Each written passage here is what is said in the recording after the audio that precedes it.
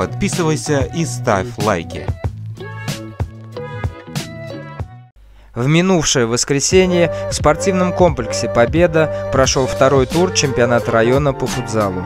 Завершали групповой этап команды из второй группы. Три команды боролись за два вакантных места на выход в финальную стадию. Это команда Черемшан, село Старое Максимкино, команда Ермак, село Большое Ермаково и команда Дружба, село Орловка. Первой игре тура сошлись Черемшан и Ермак – Максимкинская команда оказалась опытнее и мастеровитее и смогли обыграть ермаковскую команду 7-4.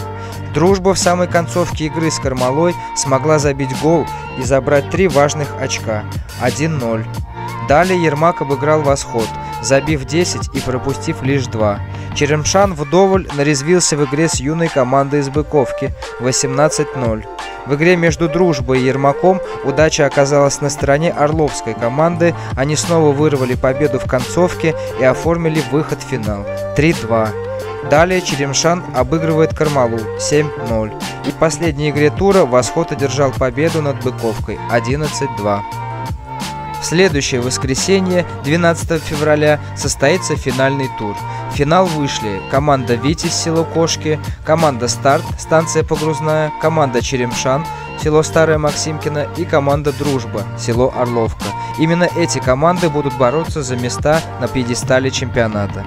Приходите поддержать свои команды и посмотреть футзальные противостояния. Поставьте лайк и подпишитесь на канал. Спасибо за просмотр.